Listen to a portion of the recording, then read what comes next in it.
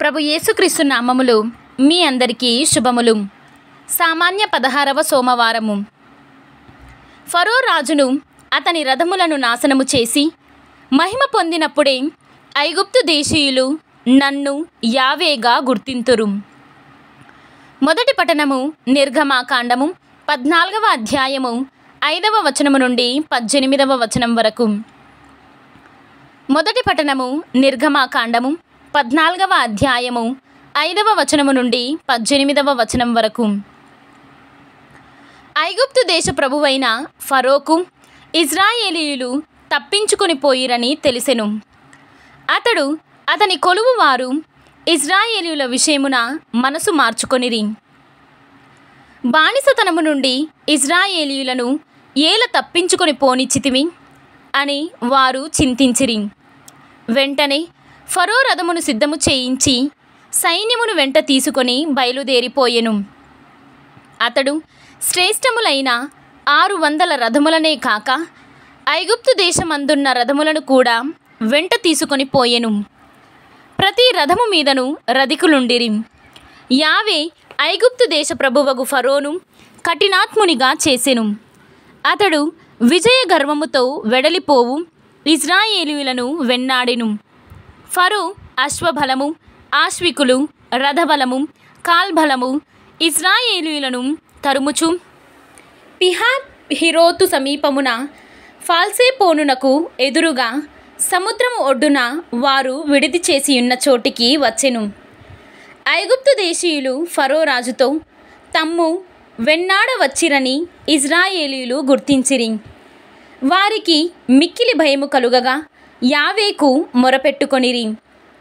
ఇజ్రాయేలీయులు మోషేతో ఐగుప్తు దేశములో మమ్మి పూడ్చిపెట్టుటకు చోటు కరువైనదా? ఈ ఎడారిలో చావగా మమ్ము తరలించుకొని వచ్చితివి కదా? నీవు ఐగుప్తు దేశము నుండి మమ్ము తీసుకొని వచ్చి ఒరగబెట్టినది ఏమున్నది? మా జోలికి రావలదు. మేము ఐగుప్తు దేశీయులకు చాకిరీ చేయుదము అని ఆ దేశమున ఉన్నప్పుడే చెప్పలేదా? ఇప్పుడు ఈ ఎడారిలో చచ్చుట కంటే ఐగుప్తు దేశీయులకు ఊడిగము చేయుట మేలు గదా? అని అనిరి. దానికి మోసే వారితో భయపడకుడు గట్టిగా నిలబడుడు.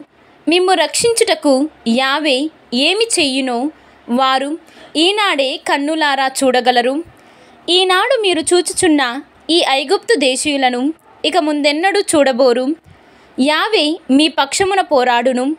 మీరు కదలక మెదలక ఉండుడు అని అనెను. యావే మోషేతో నీవు నాకు మొరపెట్టనేలా ముందునకు నడువుడని ఇజ్రాయేలీలలో చెప్పుము. నీ కర్రని ఎత్తుము సముద్రము మీదికి చేతిని చాపుము దానిని పాయలుగా చేయుము. ఇజ్రాయేలీయులు సముద్రము నడుమ పొడి నేల మీద నడిచిపోయెదరు. ఇక నేనందువా? ఐగుప్తు దేశీయులను కఠినాత్ములుగా చేయుదును. అందుచే వారు ఇజ్రాయేలీయులను తరుముదురు.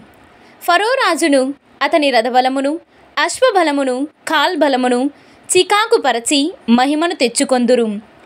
ఫరో రాజును అతని రథములను అశ్వములను సైన్యములను నాశనము చేసి మహిమ పొందినప్పుడే ఐగుప్తు దేశీయులు నన్ను యావేగా గుర్తింతురు అని చెప్పెను. ఇది ప్రభువాక్కు సర్వేశ్వరునికి వందనములు. భక్తి కీర్తన. ప్రభుని గూర్చి గానము చేయుదము. ఎందుకన? ఆయన మహిమాపూరితుడు. ఈనాటి సువిశేషము పునీత మత్తయ్య గారు వ్రాసిన సువిశేషము పన్నెండవ అధ్యాయము ముప్పై ఎనిమిదవ వచనము నుండి నలభై రెండవ వచనము వరకు. బోధకుడా నీవు ఒక గుర్తును చూపవలేనని మేము కోరుచున్నాము అని కొందరు ధర్మశాస్త్ర బోధకులు పరిసయ్యులు యేసుతో పలికిరి. అప్పుడు యేసు ప్రత్యుత్తరముగా దుష్టులు దైవభ్రష్టులనగు వీరు ఒక గుర్తును కోరుచున్నారు.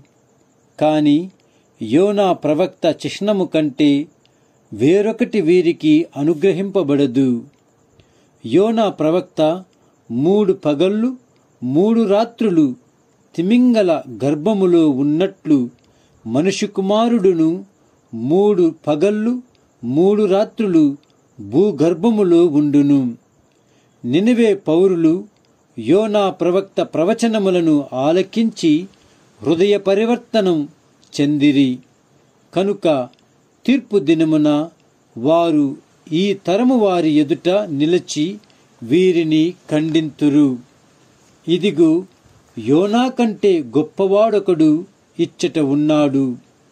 తీర్పు దినమున దక్షిణ దేశపు రాణి ఈ తరము వారి ఎదుట నిలిచి వీరిని ఖండించును. ఏలైనా ఆమె సొలోమోను జ్ఞానమును గూర్చి వినుటకై దూర ప్రాంతము నుండి పయనించి వచ్చెను.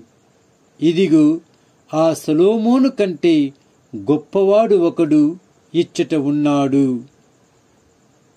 ఇది క్రీస్తు సువిశేషము. క్రీస్తువా మీకు స్థుతి కలుగునుగాక.